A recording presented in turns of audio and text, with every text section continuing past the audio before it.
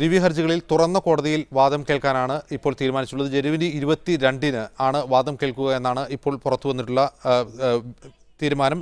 Advocate Kaleshwaram രാജുണ്ട് പ്രതികരിക്കാൻ. Advocate Kaleshwaram Raj ഇതിലെ ഏറ്റവും ഇപ്പോൾ പ്രേക്ഷകർ അറിയാൻ ഏറ്റവും ആഗ്രഹിക്കുന്ന ഒരു കാര്യം സെപ്റ്റംബറിലുണ്ടായ ഭരണഘടനാ ബെഞ്ചിന്റെ വിധി ഇപ്പോഴത്തെ ഈ തീരുമാനത്തോടെ സ്റ്റേ ചെയ്യപ്പെടുമോ?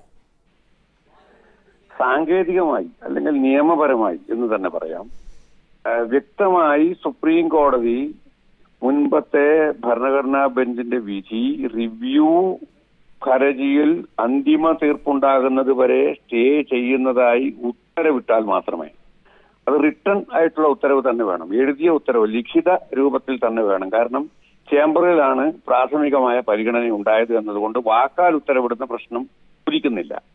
അപ്പോൾ സ്റ്റേ ഉത്തരവ് ലിഖിത രൂപത്തിൽ ഉണ്ടെങ്കിൽ മാത്രമേ സാങ്കേതികമായി അല്ലെങ്കിൽ നിയമപരമായി പഴയ ഭരണഘടനാ ബെഞ്ചിന്റെ വിധി നടപ്പാക്കാതിരിക്കാൻ ഗവൺമെന്റിന് ബാധ്യതയുള്ളൂ.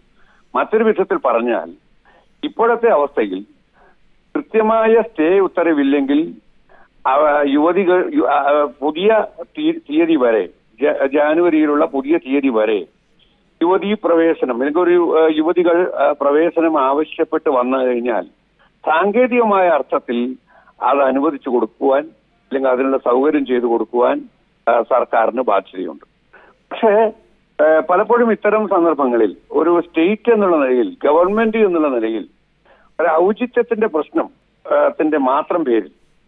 ഏതായാലും ഈ വിഷയം സുപ്രീം കോടതി തുറന്ന കോടതിയിൽ വാദം കേൾക്കാൻ പോവുകയാണ്.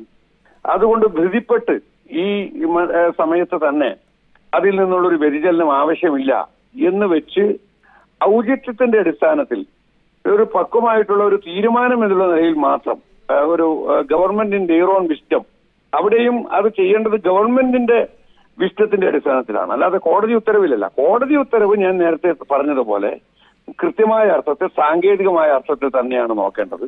അത് പ്രകാരം നിയമപരമായി ഇപ്പോ ഇപ്പോഴും ഇപ്പോ പത്ത് സ്ത്രീകൾ അല്ലെങ്കിൽ ഇരുപത് സ്ത്രീകൾ ഇപ്പൊ തന്നെ നമുക്കറിയാം കുറെ ചെയ്തിരിക്കുന്നു. നിയമപരമായി ഇതിൽ സ്റ്റേ ഇല്ലാത്തിടത്തോളം കാലം അവർക്ക് ശബരിമലയിലേക്ക് പോകാനുള്ള പോകാനുള്ള നിയമപരമായ അവകാശം ഉണ്ട് എന്നുള്ളതാണ്. അത് ചെയ്തു കൊടുക്കേണ്ട ബാധ്യത സർക്കാരിനുണ്ട് എന്നുള്ളതാണ്. പക്ഷെ റിവ്യൂ ഹർജികൾ തുറന്ന കോടതിയിൽ കേൾക്കുന്നത് കൊണ്ട് ഒരു ഔചിത്യത്തിന്റെ പേരിൽ സർക്കാരിന് വേണമെങ്കിൽ പെട്ടെന്ന് ധൃതി പിടിച്ച് ആ രീതിയിലുള്ള പ്രവേശനം അനുവദിക്കാതെ കാര്യങ്ങളെ മറ്റൊരു ദിവസത്തേക്ക് അല്ലെങ്കിൽ സുപ്രീം കോടതിയുടെ റിവ്യൂ ഹർജിയിലെ കൺസിഡേർഡ് ആയിട്ടുള്ള ഒരു ജഡ്ജ്മെന്റ് വരുന്നത് വരെ മാറ്റിവെക്കാനും കഴിയും. വളരെയധികം നന്ദി. കാളീശ്വരം രാജ് ഘട്ടത്തിൽ അത് വ്യക്തമാക്കിയതിന്.